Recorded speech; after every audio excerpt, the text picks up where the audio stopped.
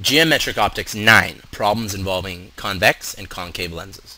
Let's review two terms which we have gone over in previous topic. The first is real images. Real images occur when light rays actually focus or converge at the image. An example is an image on a cinema screen or an image produced on an eyeball. Now, in this image we have a, a converging or convex lens and we can see that the light rays actually converge on the image. These are real, real uh, refracted, uh, refracted rays, and they actually converge on the real image.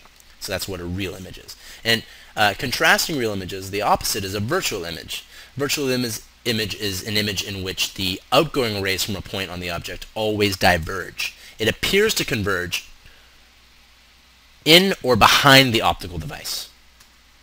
Okay. So for example, we see here, uh, we have our virtual image here, and we have these uh, we have these these rays, these diverging rays, which appear to converge on this virtual image.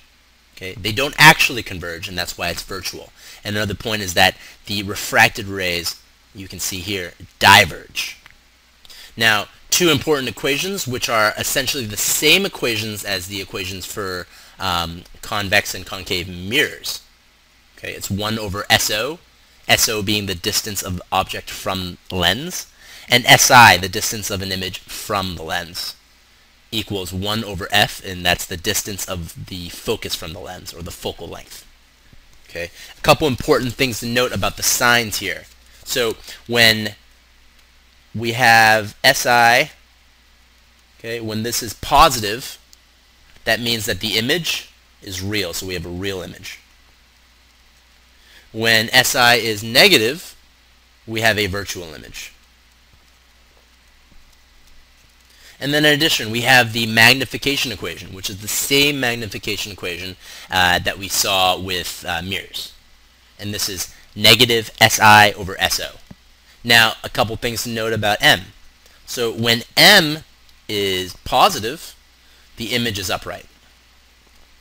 And obviously when it's negative, the image is inverted or upside down.